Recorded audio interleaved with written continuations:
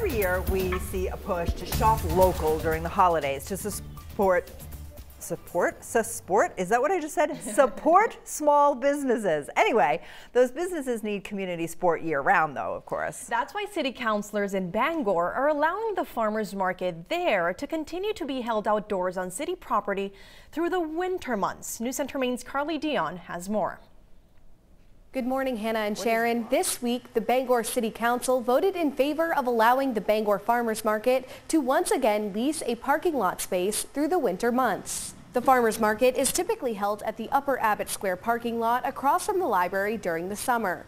Last winter was the first time it remained outside in that parking lot to still be able to remain open despite the pandemic.